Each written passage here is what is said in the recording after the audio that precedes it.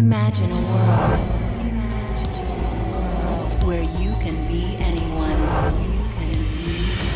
Go anywhere.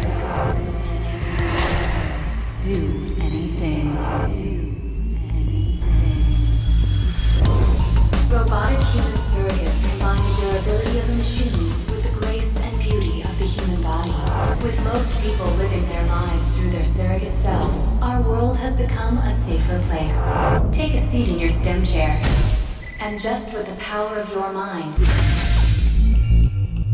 you can control your surrogate and send it out into the real world.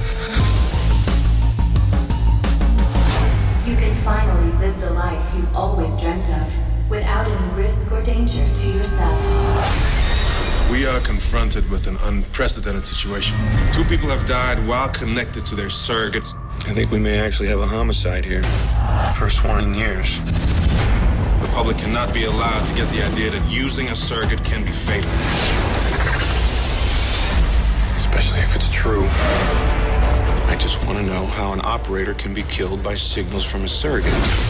Surries have been blown to bits without the least bit of harm to their operators. If it were possible, it would defeat the entire purpose of surrogacy.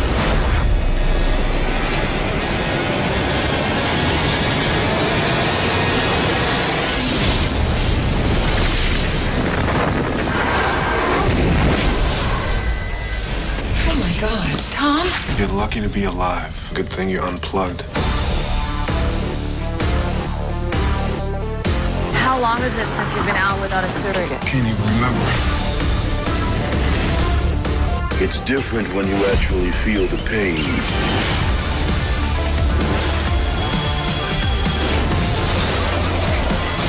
What do you want from me? My wife. I am your wife. No, you're not. We can change the world and now you want to destroy it?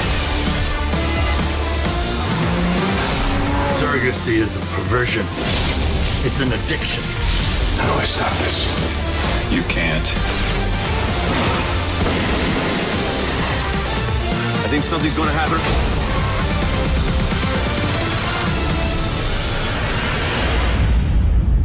What happens now? Now it's up to you.